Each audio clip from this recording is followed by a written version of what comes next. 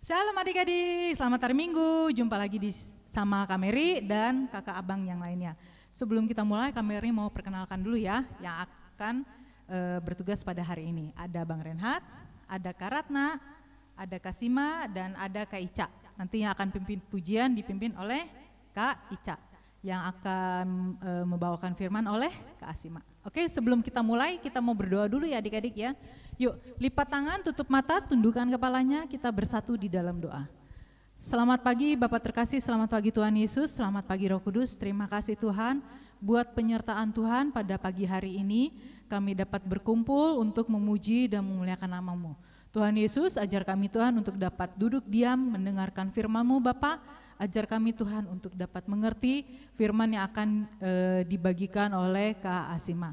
Berkati juga Tuhan buat teman-teman kami yang belum dapat mengikuti e, ibadah ini Tuhan, kiranya di mana pun mereka berada dan apa pun kegiatan mereka, kau jagai mereka selalu, kau berikan mereka kesehatan.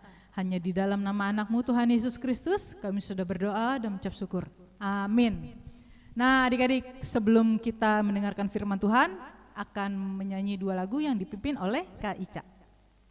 Halo adik-adik, kita mau nyanyikan lagu yang pertama judulnya Lima Roti dan Dua Ikan. Bang Renat mulai.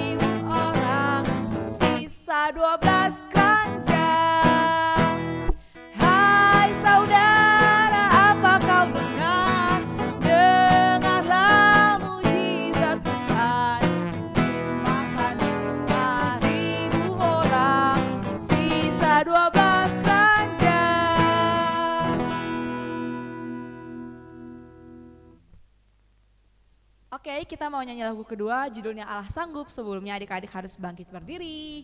Bang Rahat mulai.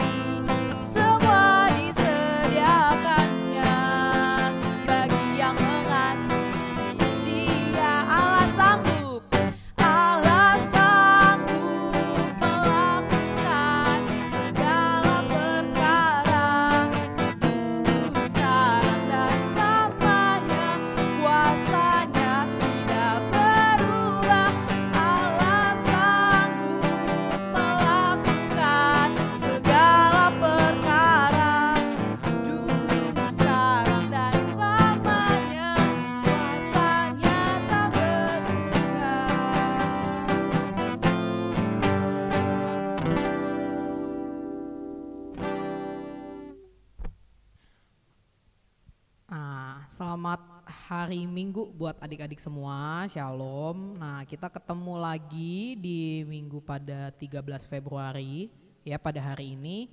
Kita akan bercerita nanti tentang kitab Mazmur, tapi kita mau berdoa dulu. Jadi Kakak mengajak adik-adik semua untuk melipat tangan, tutup mata, tundukkan kepala. Kita bersatu di dalam doa.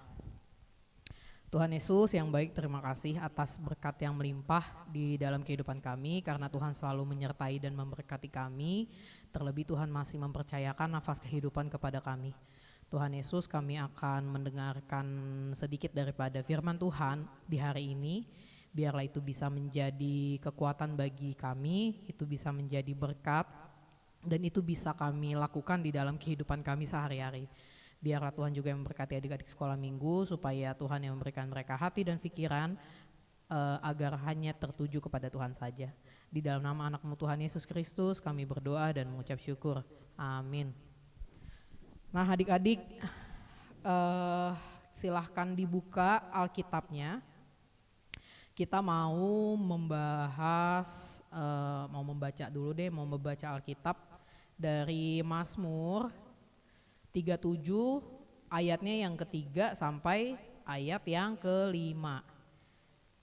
Nah, adik-adik boleh buka Alkitabnya ya, kita membahas, kita membaca ayat yang ketiga sampai kelima ya. Mazmur 37. Mazmur 37. Oke. Nah, sudah ketemu. Kakak akan bacakan untuk adik-adik semua, adik-adik juga membaca dari rumah masing-masing.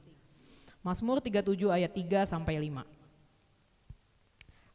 Percayalah kepada Tuhan dan lakukanlah yang baik, diamlah di negeri dan berlakulah setia. Dan bergembiralah karena Tuhan, maka ia akan memberikan kepadamu apa yang diinginkan hatimu. Serahkanlah hidupmu kepada Tuhan dan percayalah kepadanya dan ia akan bertindak. Nah, ayatnya sederhana untuk dipahami ya. Kita kalau melihat sekilas ayat ini kan ayatnya pendek-pendek nih.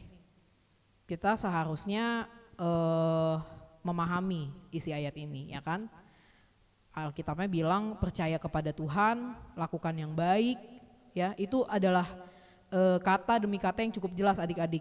Bergembiralah karena Tuhan, supaya Tuhan kasih ke kita apa yang hati kita inginkan. Nah, Alkitab juga bilang serahkanlah hidup kita kepada Tuhan dan percaya. Nah, ketika kita percaya Tuhan akan bertindak, ya. Nah, adik-adik, kakak mau nanya dulu nih, adik-adik itu tahu nggak sih Mazmur itu apa? Ya, kita kan sering membahas kitab Mazmur ya. Dan Mazmur itu uh, Mazmur itu kan uh, kitab yang banyak banget gitu ya, pasal-pasalnya. Ratusan. Nah, adik-adik itu harus paham kalau Mazmur itu dia uh, merupakan suatu kumpulan puji, puji-pujian gitu dan doa. Ya, yang dikumpulkan selama kurun waktu yang panjang banget di dalam sejarah umatnya Israel dan eh, paling tidak itu sampai di Daud setelah pembuangan di Babel gitu. Nah, ada ratusan, ada Mazmur tuh ada 150 kalau aku nggak salah. Nah, nanti adik-adik coba lihat di Alkitabnya tuh kitab Mazmur ada berapa pasal ya ada banyak dan dia itu dibagi di dalam uh, lima buku gitu loh. Di dalam lima buku. Jadi ada pembagiannya masing-masing kayak ayat 1 sampai eh pasal 1 sampai pasal 40 gitu. Misalkan tuh buku satu pasal berapa sampai pasal berapa tuh buku dua. Nah itu ada pembagian-pembagiannya nah itu juga ditulis sama beberapa orang adik-adik nggak cuma satu orang. Kalau yang kita paling tahu itu kan Mazmur ditulis sama Daud. Memang karena Daud itu uh, nabi yang paling banyak menulis kitab Mazmur, ada 73 Mazmur yang ditulis gitu, uh, 73 pasal gitu yang dia tulis. Nah, termasuklah di antaranya uh, pasal yang ke-37 ini, itu ditulis juga sama si Daud. Nah, adik-adik, setelah itu sekarang kita mulai masuk nih ke dalam uh, pembahasan Alkitabnya yang di ayat ketiga sampai kelima ini, ya kan? Tadi Kak Asima kan bilang tuh, e, percayalah kepada Tuhan yang pertama ya kan. Nah di ayat 3 adik-adik, ini ada empat pembagiannya. Percaya kepada Tuhan yang pertama, terus lakukan yang baik, yang ketiga diamlah di dalam negeri, dan yang keempat berlakulah setia. Ini maksudnya apa sih? Nah mungkin adik-adik bingung kan, jadi percayalah kepada Tuhan. Percayalah kepada Tuhan tuh kalau kita tahu nih adik-adik ya dari masa mudanya si Bapak Daud itu ya Nabi Daud dia memulai pekerjaannya itu kan sebagai seorang gembala kambing domba ya kan dia juga tapi di samping itu dia terus belajar adik-adik. Dia terus belajar percaya kepada Tuhan hingga sampai akhirnya eh, karirnya dia itu terus memuncak, terus naik gitu kan, terus menanjak. Sekalipun dia harus berperang melawan si Goliat gitu loh dalam setiap keadaan bahkan waktu dia terjepit pun di dalam keadaan yang yang terjepit dia tetap percaya kepada Tuhan gitu loh.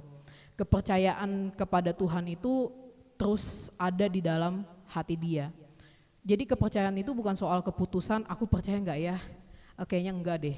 Uh, iya deh percaya aja deh, bukan kayak gitu. Tapi kepercayaan kepada Tuhan itu memanglah suatu keharusan gitu loh. Kita sebagai anak Tuhan, sebagai seorang Kristen, memang seharusnya lah kita uh, kepercaya percaya kepada Tuhan apa pun yang terjadi.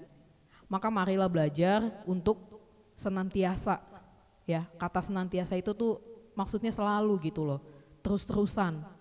Jadi kita berusaha untuk selalu percaya kepada Tuhan. Nah itu hal pertama yang harus adik-adik pahami tentang percaya kepada Tuhan.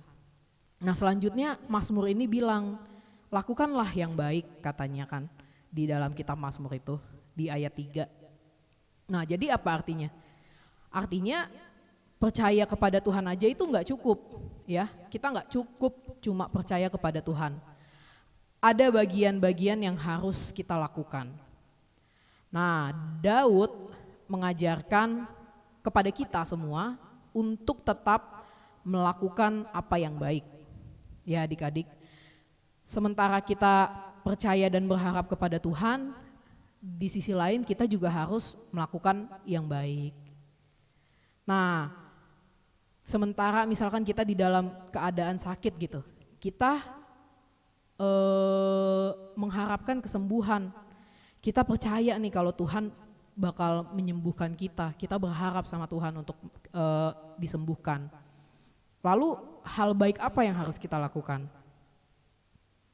Ya kita harus berusaha gitu supaya kita sampai kepada uh, titik di mana kita bisa sembuh. Ya kita harus makan yang banyak, ya kan? kita harus mau berobat, kita harus mau minum obat-obatan uh, yang diberikan dokter kepada kita.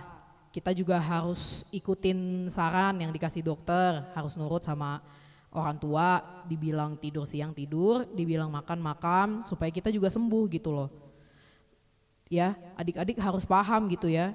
Selain kita menyerahkan harapan kita kepada Tuhan supaya kita sembuh, ya hal baik yang harus kita lakukan kita adalah adalah kita harus nurut gitu loh supaya kita bisa sembuh.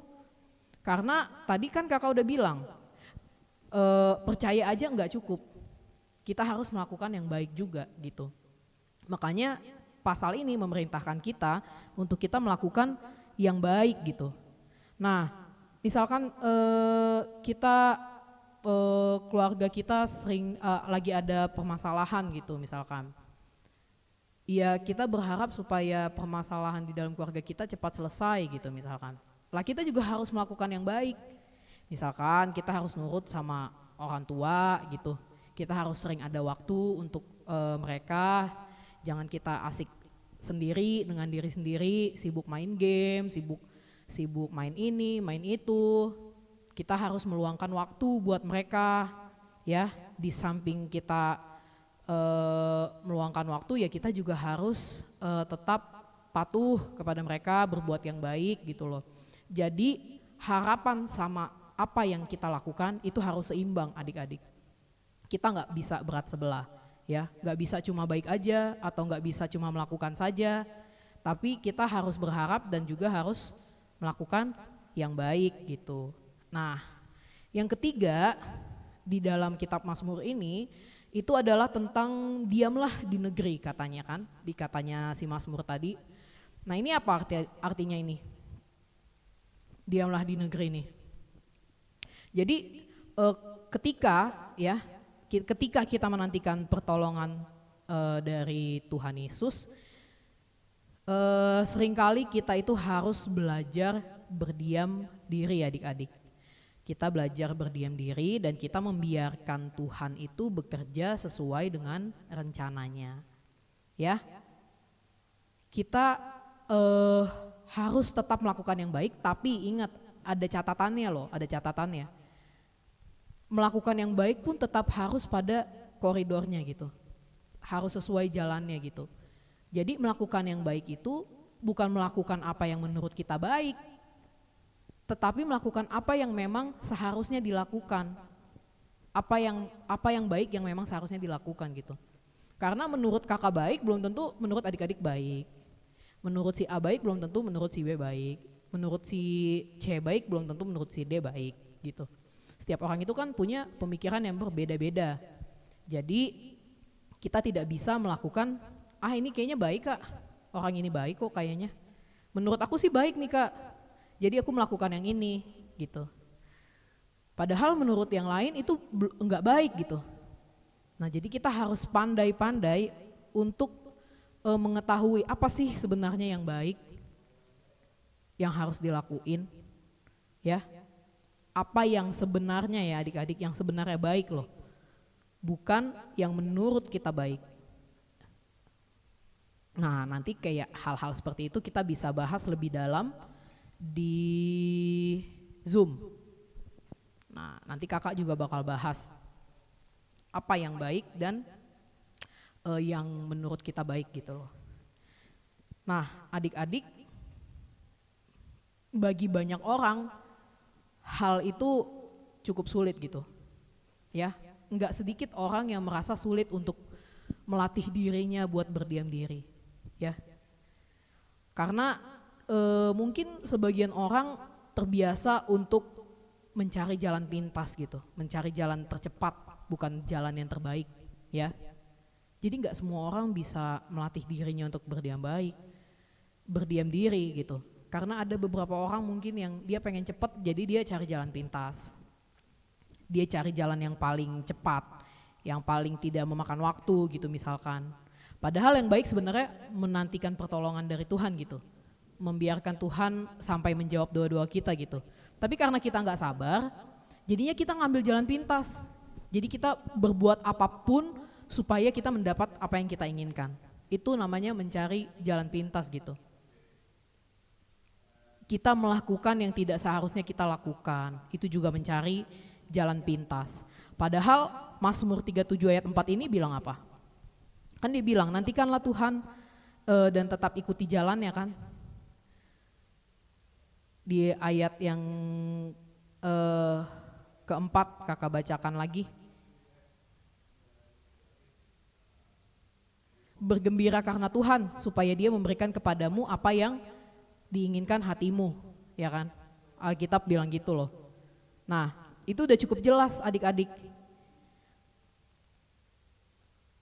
Supaya dia memberikan apa yang diinginkan hatimu. Maksudnya bergembira karena Tuhan tuh apa sih kak? Maksudnya itu adalah Tuhan Yesus kita, uh, pengen supaya kita itu memiliki kesukaan dan kebahagiaan yang tertuju hanya kepada Tuhan gitu loh. Ya. Karena apa? Karena hati yang dengan hati yang senang, dengan hati yang gembira, ketika kita melakukan segala sesuatu yang Tuhan perintahkan, rasanya hal itu menyenangkan aja gitu loh. Kita jadi senang-senang aja melakukannya gitu. Kalau kita sudah cinta kepada Tuhan, kita sudah menyenangi Tuhan, kita merasa senang sama Tuhan, kita bahagia bisa menjadi anak Tuhan. Kita melakukan hal apa pun yang diperintahkan sama Tuhan itu rasanya bahagia-bahagia aja. Rasanya seneng-seneng aja ya. Kayak kata Amsal, hati yang gembira adalah obat. Tapi semangat yang patah mengeringkan tulang. Nah, jadi si Raja Daud ini mengumpamakan hati yang gembira adalah obat, ya. Kenapa seperti obat? Ya karena dengan hati yang gembira, maka apa pun terasa menyenangkan, ya. Kita jadi semangat. Nah, dan yang terakhir itu tentang berlakulah setia. Ya. Nah, berlaku selanjutnya ketika kita sudah melakukan hal yang ketiga tadi, percaya melakukan yang baik dan berdiam diri, yang keempat adalah berlaku setia. Ya.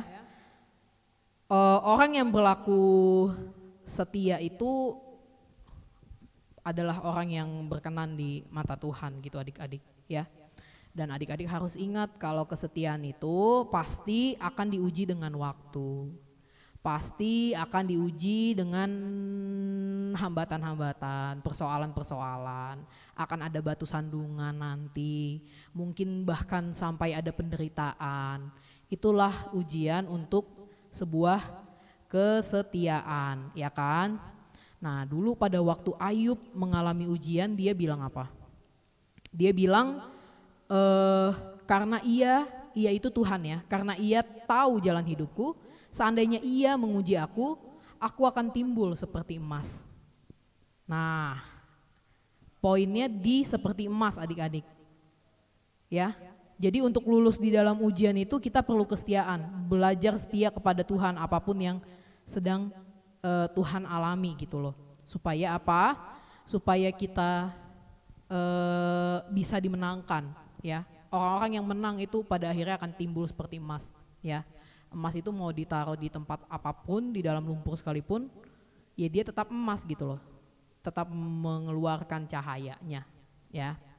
Jadi uh, itu yang mau kakak sampaikan adik-adik jangan lupa untuk menyerahkan hidupnya kepada Tuhan di dalam doa dan setelah berdoa adik-adik harus percaya supaya ketika adik-adik percaya Tuhan bisa bertindak melakukan apa yang baik untuk adik-adik gitu. Ya kita tutup Alkitab kita.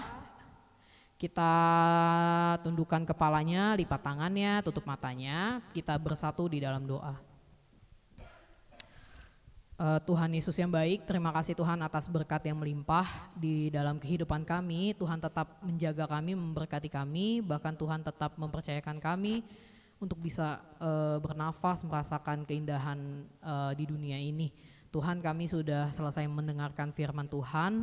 Mungkin beberapa di antara kami uh, masih ada yang belum mengerti apa sih yang mau Tuhan sampaikan kepada kita Kenapa kita harus selalu melakukan yang baik?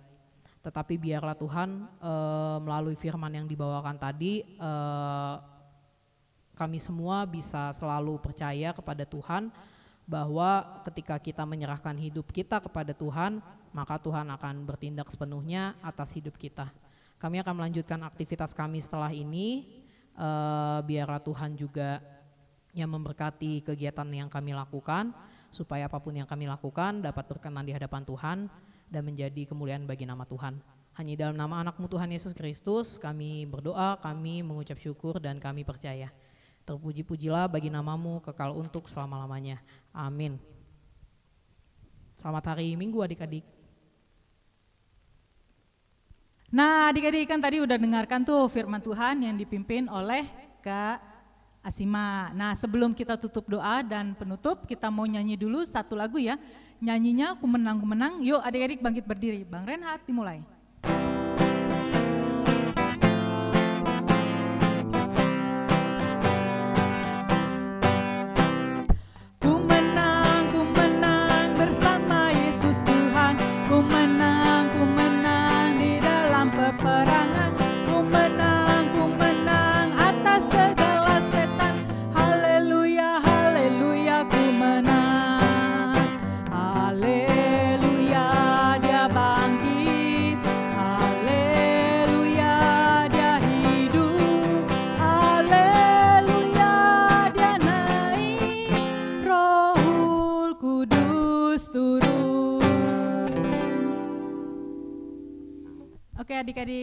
Bersatu di dalam doa.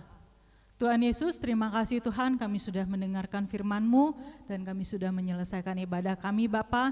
Kiranya Tuhan apa yang sudah kami dengar Bapa dapat kami pakai buat kehidupan kami sehari-hari. Tuhan Yesus, sebentar juga kami akan melakukan interaksi Zoom Bapa. Kiranya Kau berkati interaksi Zoom kami Bapa dari awal, pertengahan hingga akhirnya Tuhan tanpa kekurangan suatu apa pun juga. Berkati juga Tuhan buat aktivitas kami satu minggu ke depan Tuhan. Kiranya Kau jagai kami selalu, Kau memberkati kami selalu.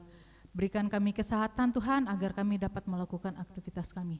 Hanya di dalam nama anakmu Tuhan Yesus Kristus kami sudah berdoa dan mengucap syukur kepadamu. Amin. Sampai jumpa di interaksi Zoom ya adik-adik. Selamat hari Minggu. Dah.